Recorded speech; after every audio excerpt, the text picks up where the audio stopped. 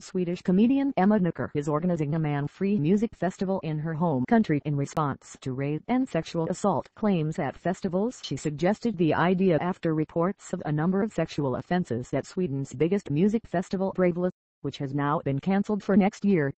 What do you think about putting together a really cool festival where only non-men are welcome? She tweeted she said it would take place until all men have learned how to behave a day after her initial tweet.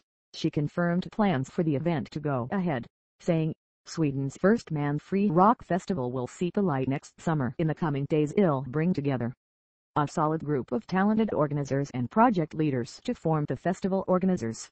Then you'll hear from everyone again when it's time to move forward. Knyckare, who is also a radio host, denied that banning men from her festival was unfair she told Sweden's Aftonbladet, since it seems to be okay to discriminate against women all the time.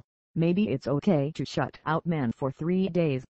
I would not exactly call it an abuse not to come to the festival. Police said they had received several reports of rapes and sexual assaults at Bravalla in the city of Norrköping. Following a similar spate of attacks at last year's event, the festival's organizers said in a statement. Words cannot describe how incredibly sad we are about this, and we most seriously regret and condemn this. We do not accept this at our festival Mumford & Sons who headlined last year's event, said afterwards that they would not perform there again until safety had been guaranteed for female concert goers. There have been similar problems in England, with reports of two women being raped at last year's Reading Festival in May.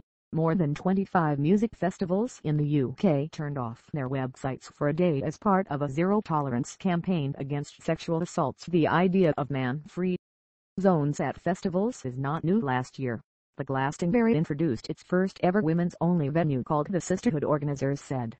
The producers of the Sisterhood believe that women-only spaces are necessary in a world that is still run by and designed to benefit mainly men.